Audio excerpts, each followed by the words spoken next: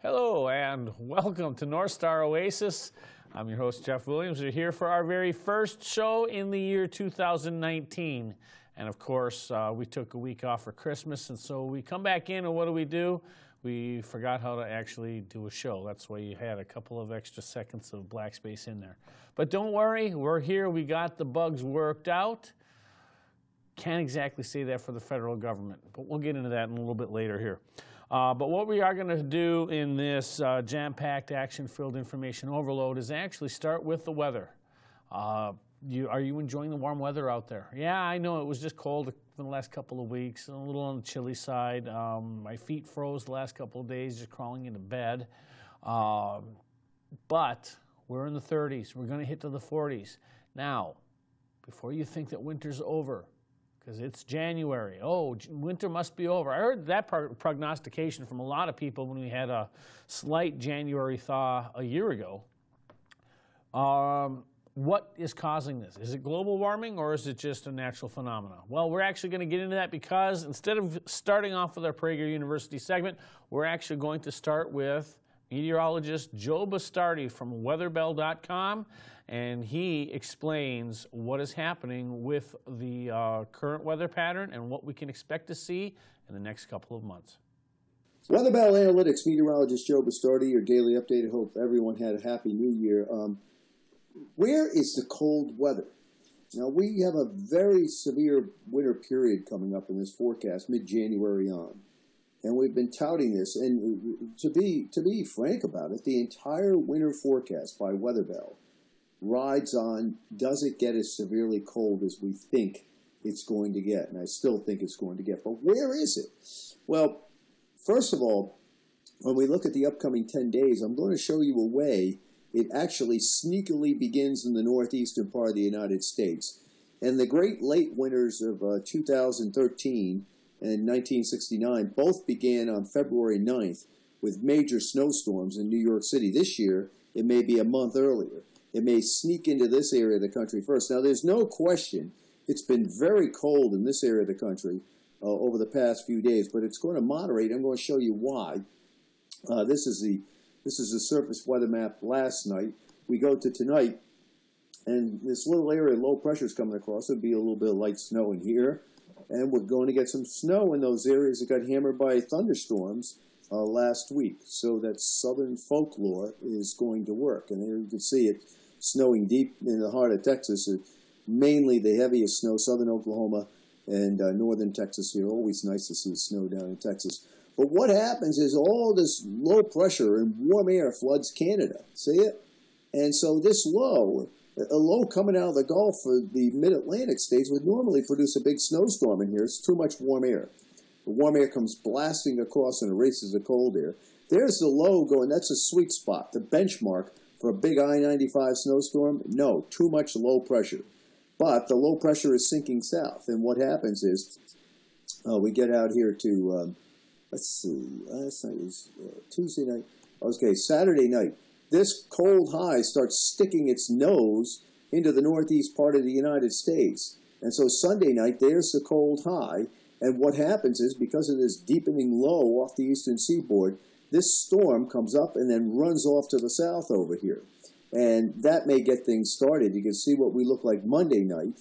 And uh, at this time, it may be snow and ice all the way down to the Mason-Dixon line because instead of having a high over here and low pressure up here, like we're going to see uh, Friday, you have a high over here, and the pressures are lowering off to the east and south.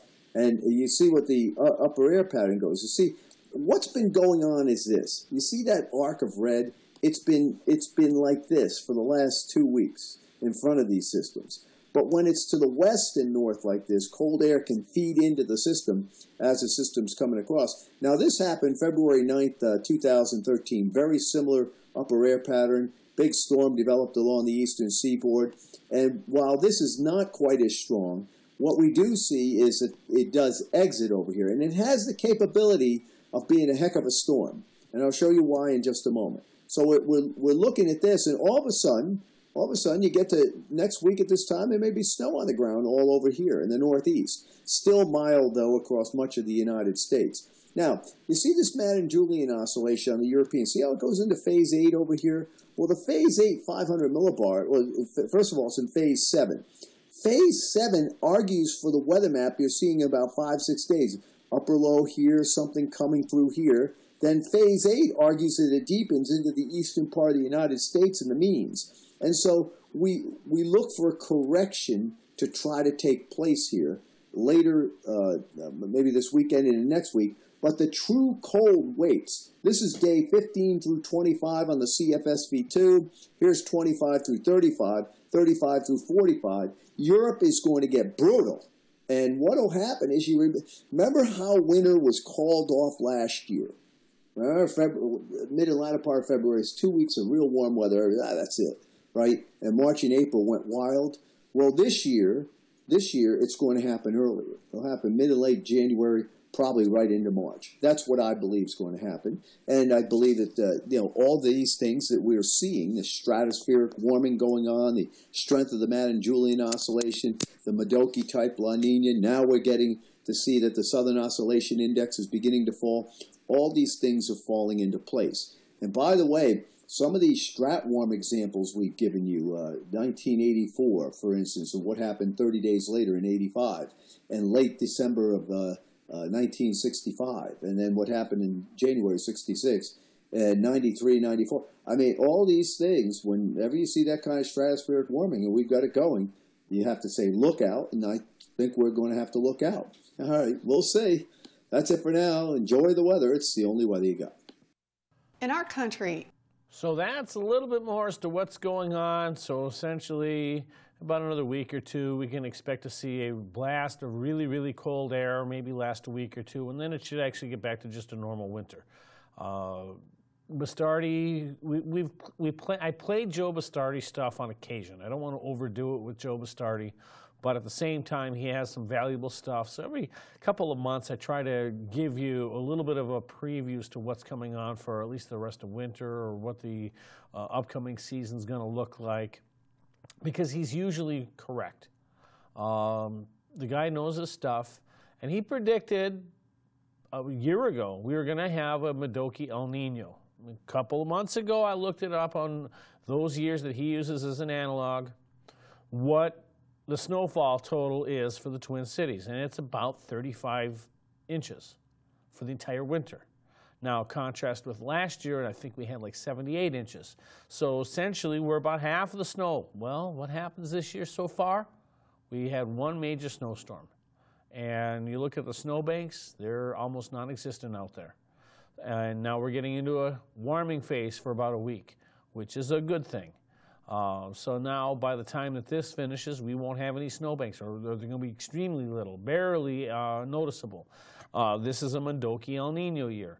And Joe Bastardi has said that many, many times, and he is correct. It's is a Modoki El Nino. And, and I, I watch his uh, daily updates and Saturday summaries just about every day, uh, just so I can learn this stuff. He's a really good teacher.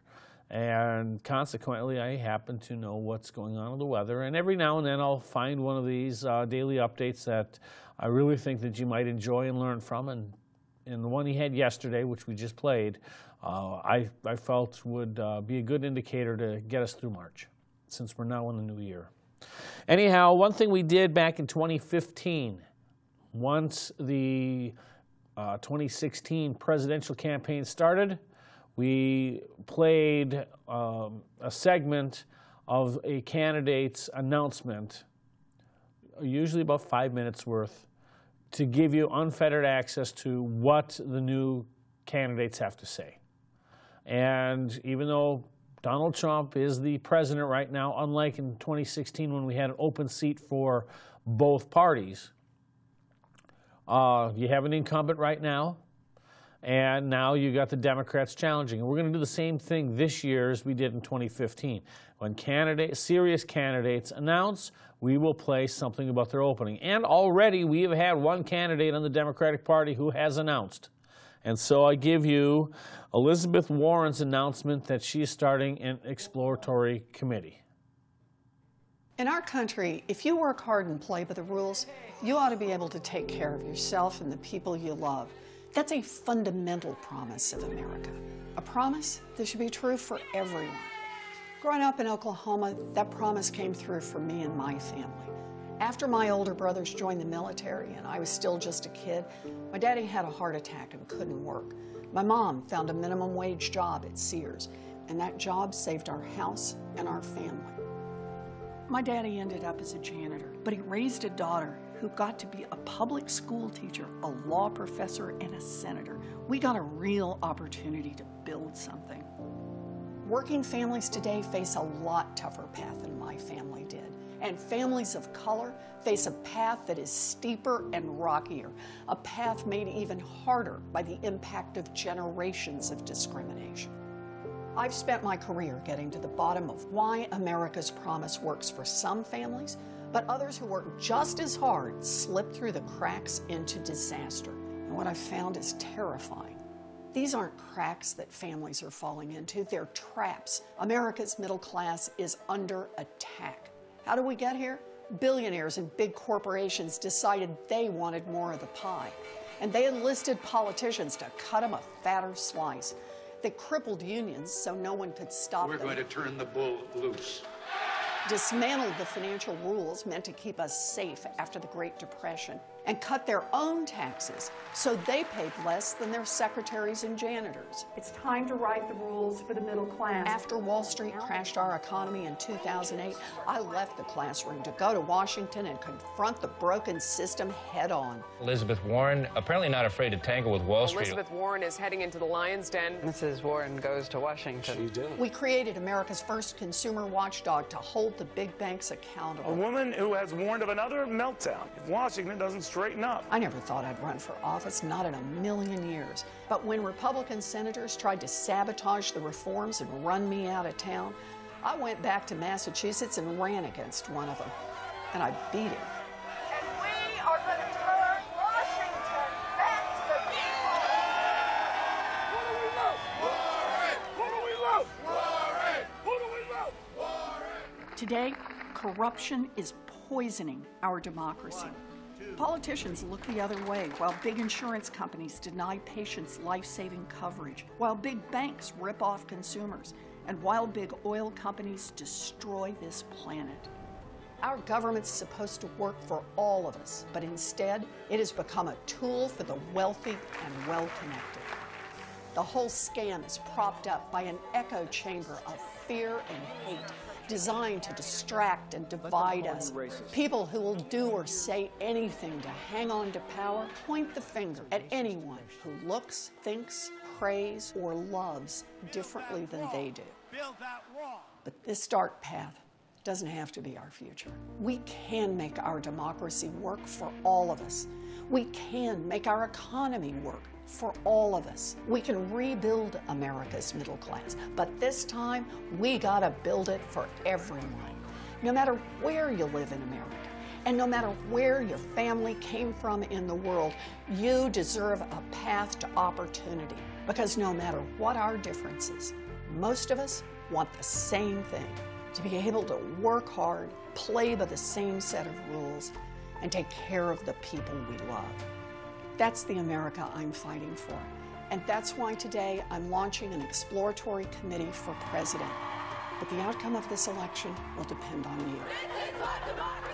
In the last two years, millions of people have done more than they ever thought they would to protect the promise of America. And here's what we learned. If we organize together, if we fight together, if we persist together, we can win. We can and we will. Okay, now I'm going to resist the urge of poking fun at Elizabeth Warren, but I'm also going to resist the urge of picking her four minute and 30 second video apart because uh, I could. I could take the entire hour. I'm not going to do that. Elizabeth Warren, uh, and I actually said this in 2015 about Donald Trump. Elizabeth Warren has something to say, just like Donald Trump had, to, had something to say. And Elizabeth Warren, like Donald Trump, is a serious candidate for president. I will treat her as such. Um, she's going to have a long road to hoe. There, she's just the first out of probably many candidates. I've even heard that Hillary Clinton might be looking at running again. Um, so it's going to be an interesting Democrat nomination process uh, simply because this can go anywhere. Um, I think that in all well, I guess let me back up for in my mind just a second here. You know, I've heard a lot of people say, Trump does this, Trump does that. Oh, he'll get reelected automatically. Oh, it's it, it, Trump's Trump's got it in the bag. No matter what he does, he's got it in the bag. I've heard that. That's kind of what I thought back in 1991 when uh, George H.W. Bush had 91% approval rating during Operation Desert Storm. He lost his reelection bid. Uh, kind of thought that uh, Mitt Romney could have knocked off Barack Obama. I really didn't think that anybody would see Barack Obama worthy of a second term. He got elected to a second term. When it comes down to the presidential race in, in 2020, it is going to be a Republican candidate, most likely Donald J. Trump, versus a Democrat candidate to be determined. That's it. When those two go head to head, that's what the country's going to have to decide upon. So until then, we're just, as soon as a Democrat announces or an independent announces, we'll roll with it. So I guess welcome to the race, Elizabeth Warren. I promise you I will not pick, pick on you or make fun of you this week. But I'm sure that there will probably come a time within the next year or two that we'll uh, take a look at what you have to say a little closer in depth and uh, correct the record based upon historical and current facts. Anyhow, uh, we are now going to go to our Prager University segment for today. And we are going to talk about the issue that has been going on for the, well, it's been going on for a while, uh, but really been in the news a lot for the last two weeks. Uh, since the government shutdown. And for this Prager University segment, we're going to go with the late Charles Krauthammer, and his segment is on how to solve illegal immigration, build the wall.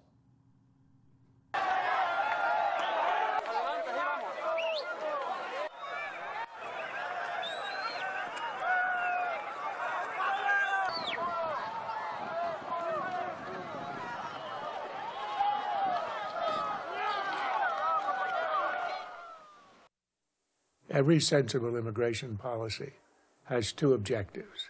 One, to regain control of our borders so that we decide who enters, and two, to find a humane way to deal with the 11 million illegal immigrants who now live among us.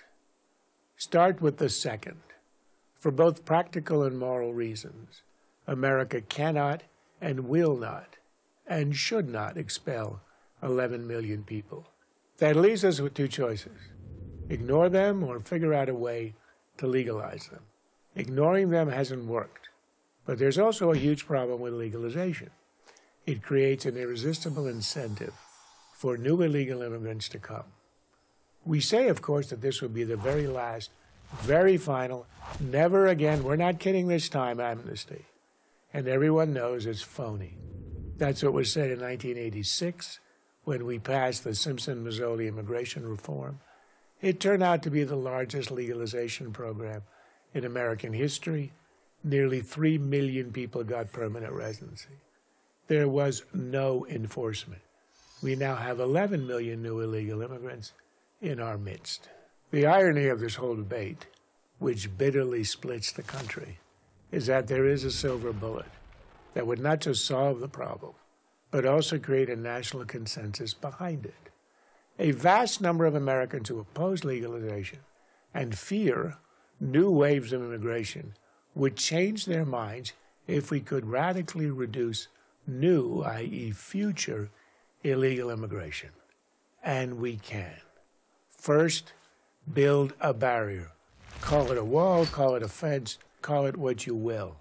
Add cameras and sensors, add drones, beef up the patrols. All that matters is that we regain control of the border. Fences work. The triple fence outside San Diego led to a 90% reduction in infiltration. Israel's border fence with the West Bank produced a similar decline. Even holier than thou Europeans have conceded the point. Hungary, Macedonia, Bulgaria, Austria, Greece, Spain, why even Norway have all started building border fences to stem the tide of Middle Eastern refugees. Then enforce two other measures a national e verify system that makes it just about impossible to work if you're here illegally, and a functioning visa tracking system, since 40% of illegal immigrants are visa overstays. The wall fence will, of course, be ugly. So are the concrete barriers to keep truck bombs from driving into the White House. Sometimes function has to supersede form. And don't tell me that this is our Berlin Wall. When you build a wall to keep people in, that's a prison. When you build a wall to keep people out, that's an expression of sovereignty. Of course, no barrier will be foolproof, but it doesn't have to be. It simply has to reduce the river to a manageable trickle.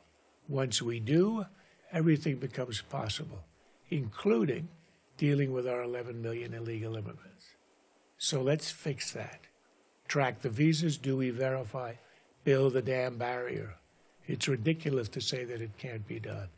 And who would certify that the border is back in our control? I would have a neutral party, perhaps a commission of retired jurists, issue the judgment.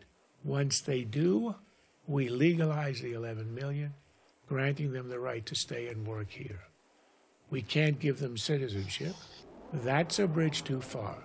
You don't get to join the political destiny of the country by entering it illegally. But any children born here would be American, which means that over time, the issue resolves itself.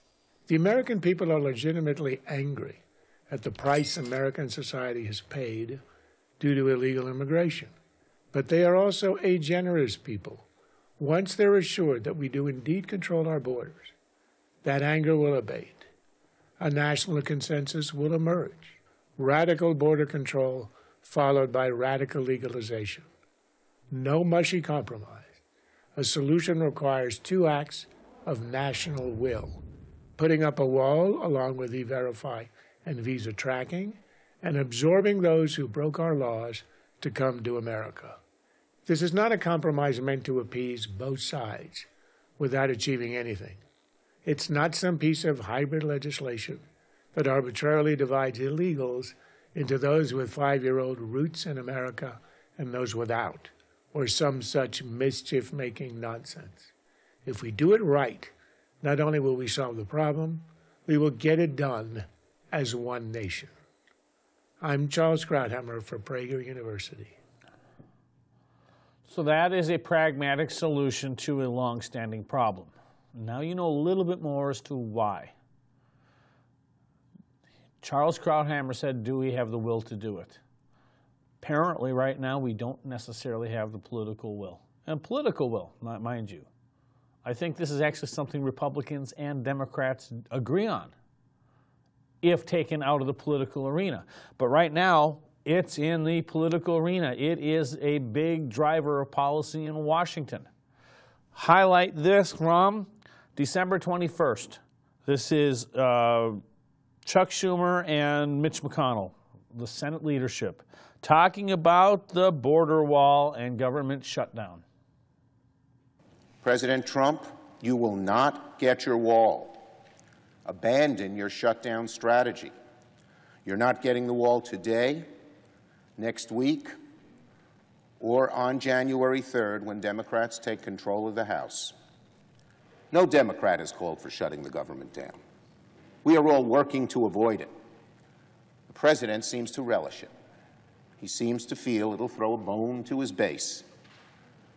The problem being, his base is less than one quarter of America.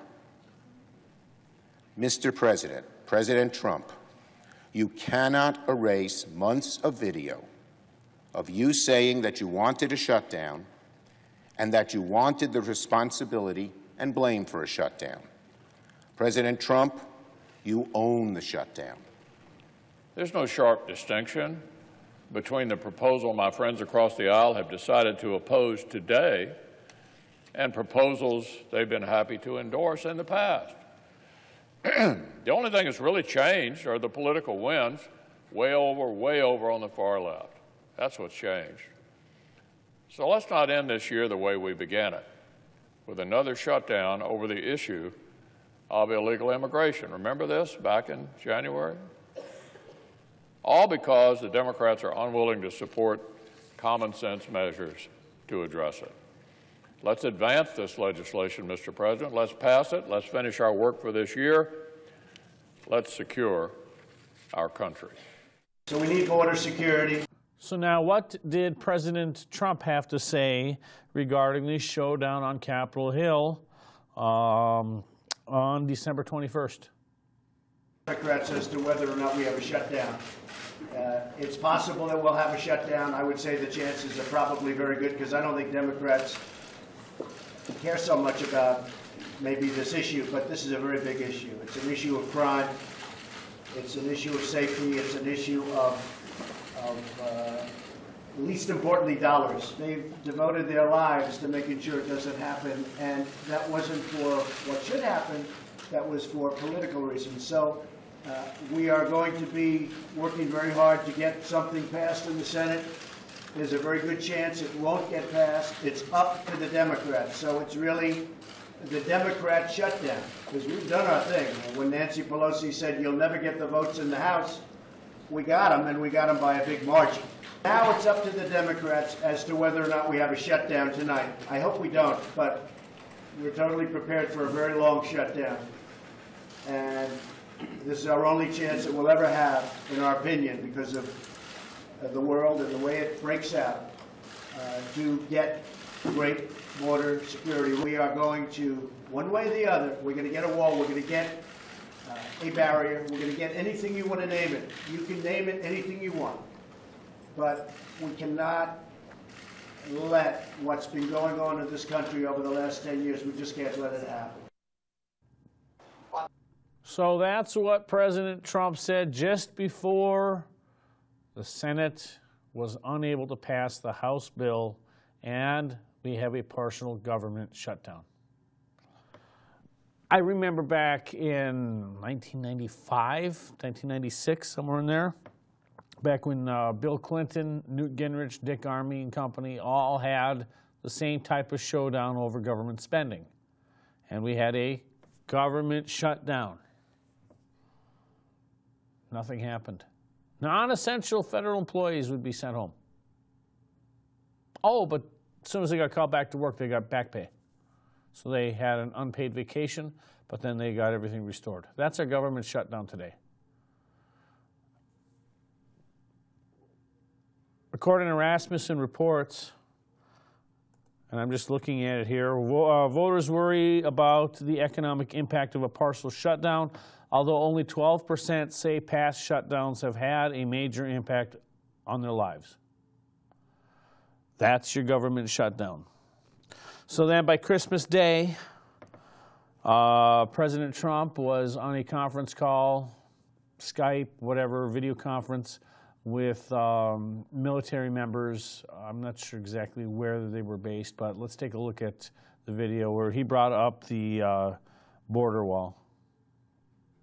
On behalf of the soldiers, family members, and contractors of Task Force Talon, we wish you a Merry Christmas and Happy Holidays from the tropical U.S. territory of Guam. Well, it's all, I call it bells and whistles, but if you don't have the wall, it doesn't work. With the icebreakers, you need a lot of steel. Well, I want to wish everybody a really Merry Christmas, a Happy New Year. Uh, just remember, the people in our country, we're very proud of you. The country's doing well. We have a little bit of a shutdown because we believe in walls and we believe in borders and we believe in barriers and you know, we have a special country. People have to come in through the legal process, not just walk in. We have no idea who they are. And we're stopping drugs at a record rate, but we need some help, and the help is the wall. We need a wall to help us. We had caravans of people coming up. You've been seeing it. And we stopped them. We stopped them cold. And they're heading back. For the most part, they're heading back or they're staying in Mexico.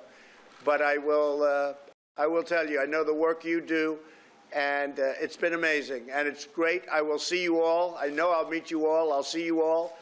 But on behalf of the country, Merry Christmas, Happy New Year. Keep doing the job. We're all very proud of you. Nobody can do what you do. I can't tell you when the government's going to be open. I can tell you it's not going to be open until we have a wall, a fence, whatever they'd like to call it. I'll call it whatever they want. But it's all the same thing. It's a barrier from people pouring into our company, into our country from drugs. Well, uh, that was on Christmas. Now, sometime after that, something else happened. See, the Democrats and the media were complaining that Donald Trump hadn't visited the troops. Donald Trump didn't visit the troops. Donald Trump didn't visit the troops. Donald Trump didn't visit the troops. That was what we heard throughout the majority of the month of December, or at least Christmas week.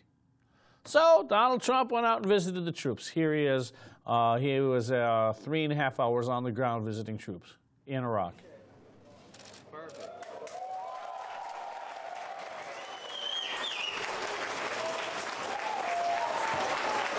Back into the military, into the army because of me. And I'm here because of you. So we have something in common. Thank you, man. Some great spirit. Yeah. Everybody says that we have a good fire, right? Keep America great. All right, let's go, guys.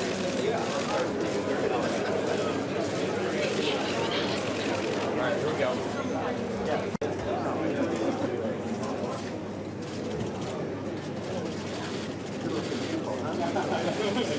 Movie stars. Get stronger. Movie stars become stronger and tougher, right?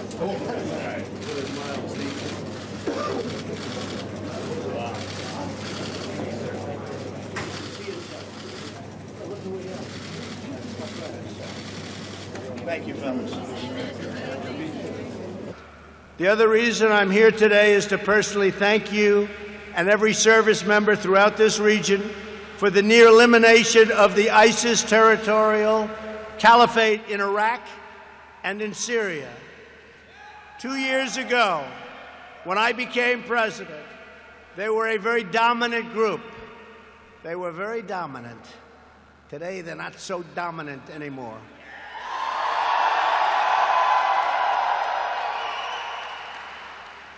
Great job. I looked at a map, and two years ago it was a lot of red all over that map. And now you have a couple little spots, and that's happening very quickly. That's happening very quickly. You'll be seeing that. I want to just say great job, and we'll be watching ISIS very closely in mind. We came to Al Asad to share our eternal gratitude for everything you do to keep America safe, strong, and free.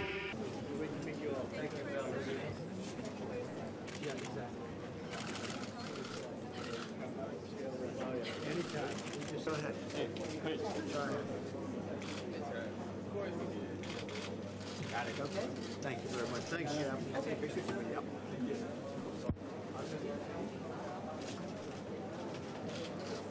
Thank you, man.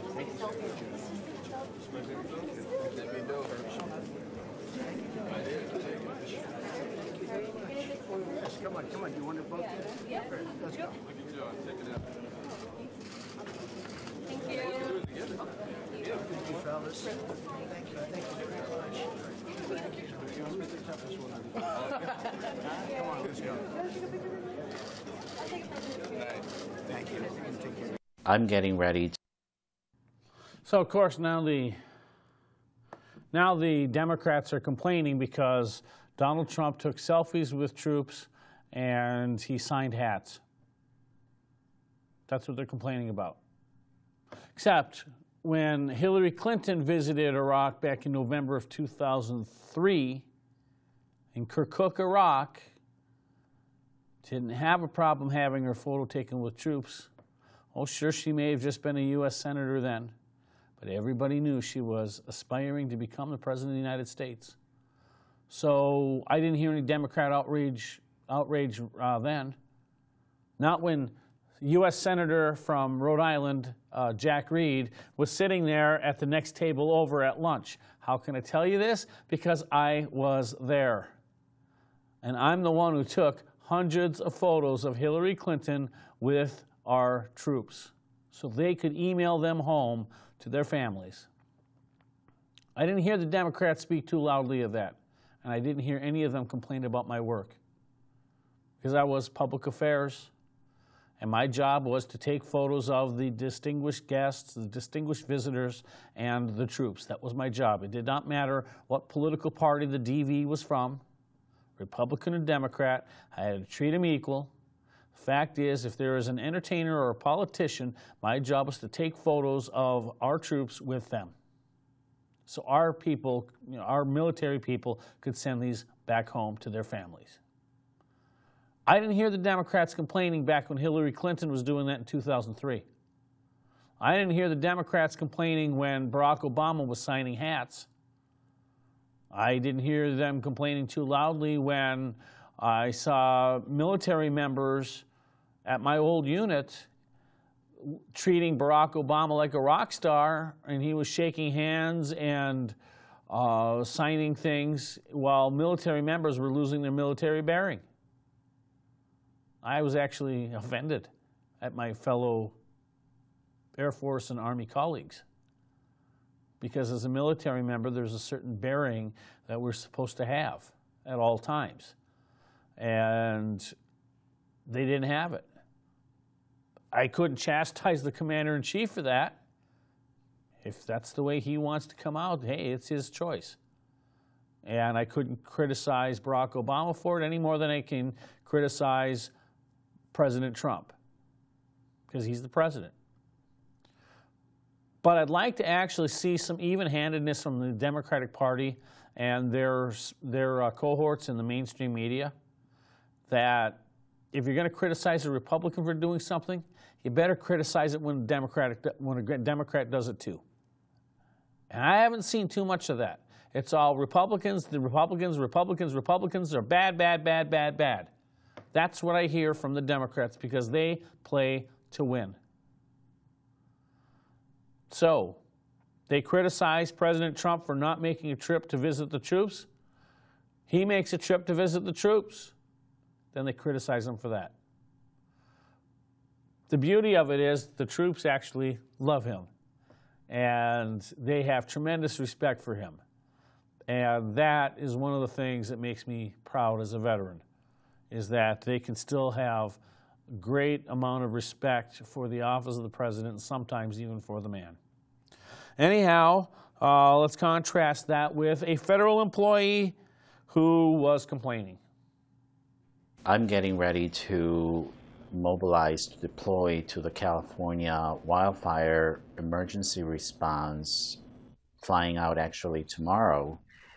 And it is uncertain as to whether or not paychecks will be processed on time. It is also uncertain as to what the support might be that we need from people who are not considered essential. My understanding is that by the end of this week, we should get another email telling us we are indeed being furloughed, or if something happens that a budget does get passed by the end of this week that does get signed by the president, then we know we are good to come back to work on Monday of next week. So, but given that one of the houses is not even in session right now, it is it continues to be very nerve-wracking, very uncertain. It's it's just a, a deep frustration on the part of myself and many other federal employees that we just want to do our jobs. We just want to wake up like everybody else every morning, get up, go do our job, and especially because we have also this added commitment to the mission of the agencies that we serve, to serve the public, to provide clean air, clean water, and protect the health of people in the United States. So it is very frustrating when there is a shutdown and instead we get up every morning to a furlough and not being able to go to work. Okay. 1995 and 95 96 shutdowns. Uh, government workers were furloughed and non-essential services suspended during November 14th to 19th, 1995. and from December 16th, 1995 to January 6, 1996, for a total of 27 days. The first of the two shutdowns caused the furlough of about 800,000 workers, while the second caused about 284,000 workers to be furloughed. 2013 shutdown lasted 16 days beginning on Tuesday, October 1st. The shutdown, approximately 800,000 federal employees were furloughed for 16 days, while another 1.3 million were required to report to work uh, without known payment dates. The deadlock centered on uh, continuing resolution. Um, the first shutdown of 2018 began at midnight on Saturday, January 20th. On January 19th, a bill failed to pass the U.S. Senate 50 to 49, with the majority of Democrats voting no. Five Republicans voted no, and five Democrats voted yes in the Republican majority Senate. 60 votes were required for passage. Senate Democrats insisted that the issue of immigration, specifically the funding of DACA, be addressed in the budget. Republicans refused to include the issue, saying the deadline for DACA and immigration was not until mid March. A stopgap that would fund the government for four weeks passed the House of Representatives, and Republican Senator Mitch McConnell proposed a three week stopgap. The government reopened on Tuesday, January 23rd. That was what, a two day, a th- two day, three day shutdown? Uh, then another one in um, February, uh, looking here,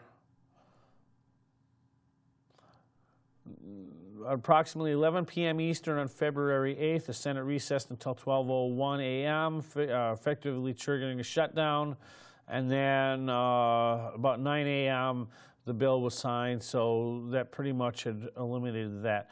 So while I have a AFGE government union official complaining about a government shutdown, he's been around, and I can tell by his age and by his tenure he'd been around in 1995. So government employees are furloughed. If you don't like it, get in the private sector.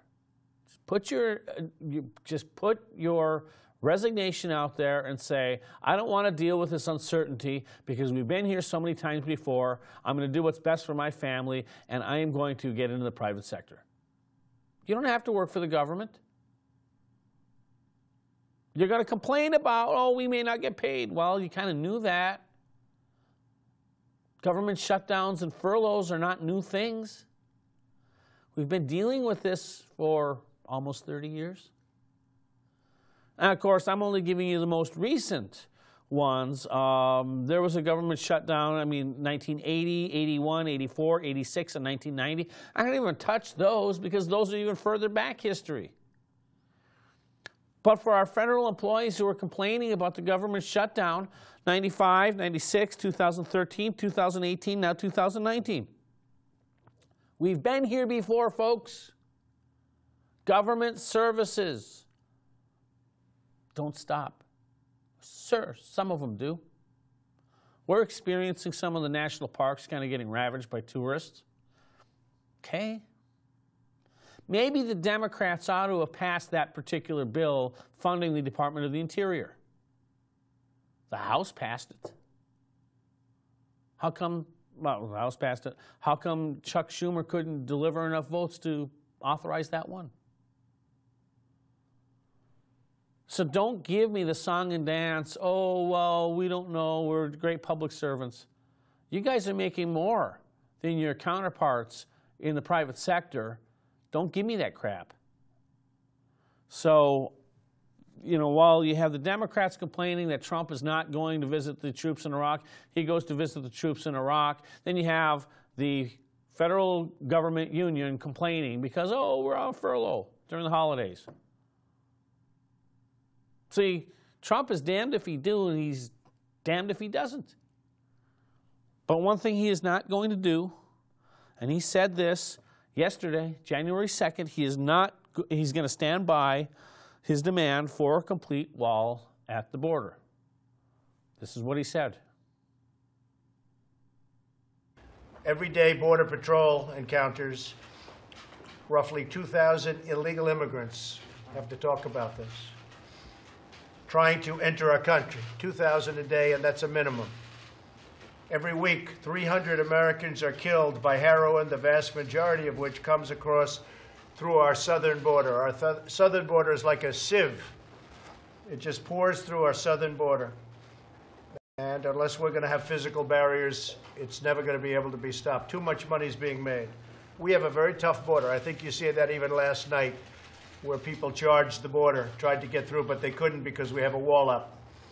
And uh, but tear gas was flying, and a lot of things were happening. And I guess uh, for the most part, you've seen it. It's very sad. If they knew they had a physical barrier, if they knew they had a wall, if they knew they had something that's going to stop them, they would have never come up in the first place. We're in uh, the shutdown because of the fact that the Democrats are looking to 2020. They think they're not going to win the election. I guess a lot of signs point to the fact that they're not going to win the election. I hope they're not going to win the election. But they view this as an election point for them. I actually think it's bad politics, but I'm not thinking about the politics. I'm thinking about what's right and what's wrong. And we need a physical barrier. So they met, the House and Senate leadership and President Trump, they met yesterday. What happened? Well, here's the rundown. Good afternoon, everyone. We have given the Republicans a chance to take yes for an answer. We have taken their proposals unamended by any House bipartisan uh, amendments, but, but just staying true to what the Senate has already done. Our question to the President and to the Republicans is why don't you accept what you have already done to open up government? And that enables us to have 30 days to negotiate for border security. So the bottom line is very simple. We asked the president to support the bills that we support that will open up government. We asked him to give us one good reason. I asked him directly. I said, Mr. President, give me one good reason why you should continue your shutdown of the, of the eight cabinet departments while we are debating our differences on Homeland Security. He could not give a good answer. They are now feeling the heat. It is not helping the president, it is not helping the Republicans to be the owners of this shutdown. Today we gave them an opportunity to get out of that and open up the government as we debate border security. And to say to them, because he says he won't sign it and use the government as hostage, we should just give in. The American people don't want that. That's bad for our country, and that's not the way to govern. Uh, we had a long discussion. The president asked us to come back on Friday after the leadership races. I think that was a concern for some people to be able to get through. We never did get through the complete briefing from the Secretary of Homeland, which we were concerned about because we do have a crisis on the border right now. Um, we had a violent mob rush yesterday where we had a challenge there, but we know that we have a challenge along the border. We want to solve that issue. We want to make sure we open this government up, and I think at the end of the day, the president, listening to him, he wants to solve this as well. That's why he's asked us to come back Friday after uh, the leadership races to try to get this all done. Well, it doesn't have to last much longer at all. I, I think we can come to an agreement rather quickly. Um, I know that's why the president thought maybe after the leadership races, would people would be more willing to come to an agreement. Of course, there. So that was the result of yesterday's meeting, and then this morning, uh, the, of course, we heard from Chuck Schumer about their proposal to keep the government open, and we'll deal with the other issue that is preventing this uh, at another time. First, before I get into what happened this morning, uh, let's go back a year. Um, on January 23rd, 2018, uh, and the whole thing about DACA. Uh, this is the Trump, uh, the, the Trump tweet. Crying Chuck Schumer fully understands, especially after his humiliating defeat, that if there is no wall, there is no DACA. We must have safety and security together with a strong military for our great people. That was Trump's statement a year ago. And the, uh, uh, Tuesday's tweet came after Schumer, the Senate Minority Leader, informed the White House that he is withdrawing an offer made during the, during the heat of funding negotiations. In it, he agreed to support more than 1.6 billion for construction of the wall along, along the southern border with Mexico. But Schumer told uh, reporters on Tuesday that offer made Friday was contingent on striking a more comprehensive deal that included DACA, a deal that has not materialized. Well, Chuck Schumer has it in him to agree to $1.6 billion funding for the wall. He had 1.6 billion on the table last year. See, here's what you're seeing. You're seeing Donald Trump playing the same game as the Democrats. And they don't like it. You know, I, I thought in that clip that Chuck Schumer was about to cry. He's not getting his way. The Democrats are so used to controlling the issue and Republicans caving in, they win. End of story. Move on to the next crisis. Donald Trump comes in and says, No, you're going to give me my wall. I'll shut the government down. I'll, I'll, I'll take the credit for it or the blame. You're going to give me my wall. Well, here we are, almost two weeks in. We got the uh, federal government union official crying because he doesn't know when people are getting paid.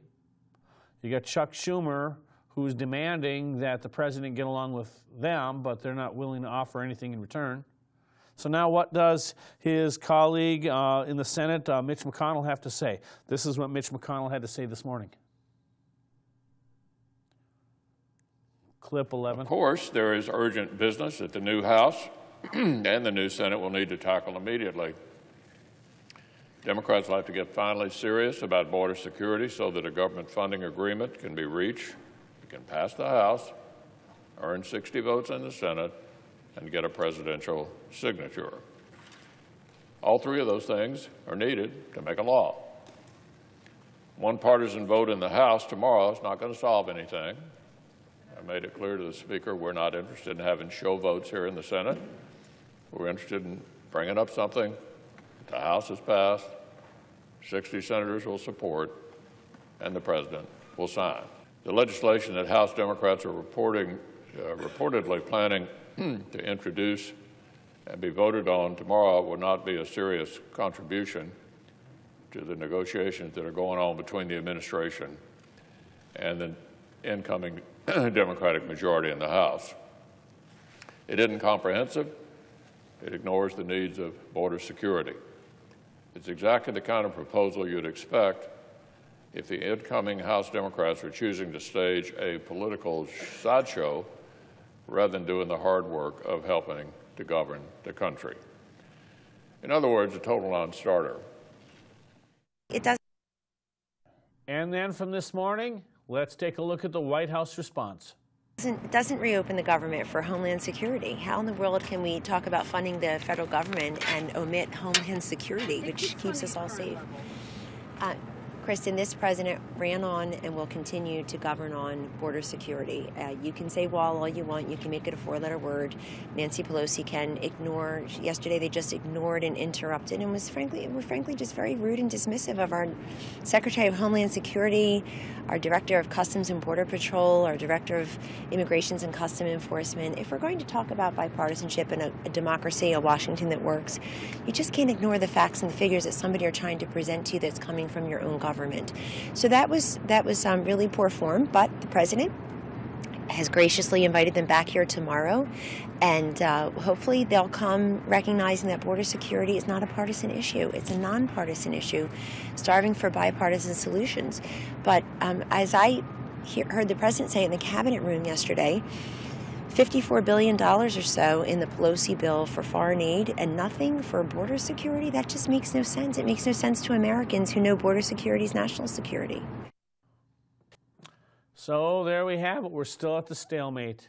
Now, something also uh, very important happened today, and that was the opening of the 116th Congress. Yes, Congress is back in session, and yes, the Democrats have control of the U.S. House of Representatives. So let's take a look at the swearing in. Well, despite day 13 now of the government shutdown, it's an historic day in our nation's capital where we're looking live on a Thursday morning. The 116th Congress will be fully sworn in and getting to work in about two hours from now. Democrats seizing control of the House, fresh voices, fresh energy as the Democrats prepare to take on Donald Trump in this new 116th Congress.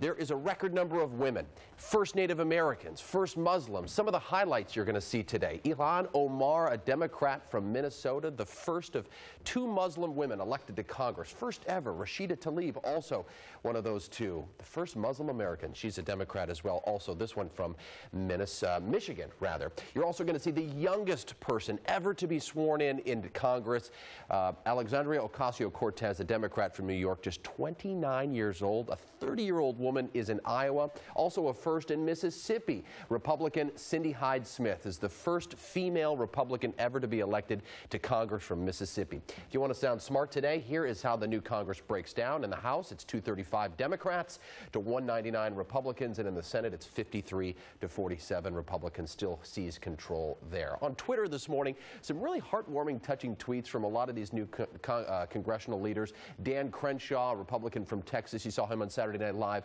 talking about the future of America with this great picture here. Also, Ilhan Omar, as I mentioned, she's the first Muslim American to be serving. She says, 23 years ago, from a refugee camp in Kenya, my father and I arrived at an airport in Washington, D.C. Today, we return to that same airport, this time to be sworn into Congress.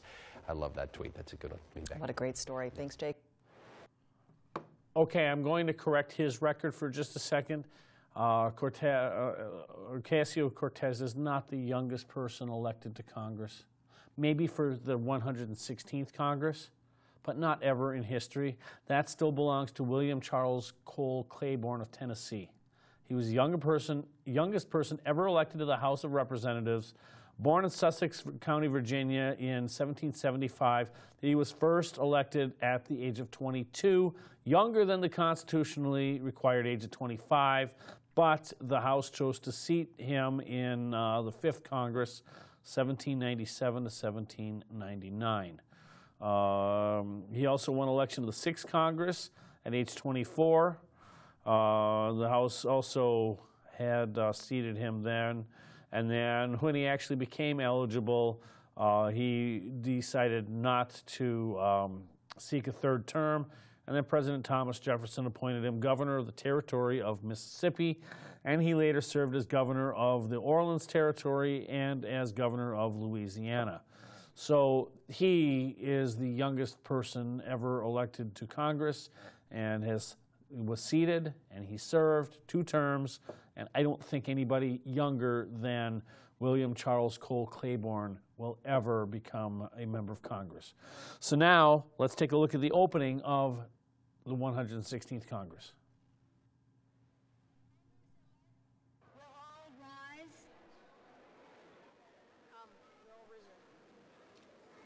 Where's the oath? Okay, here it is. Will you all please raise your right hand?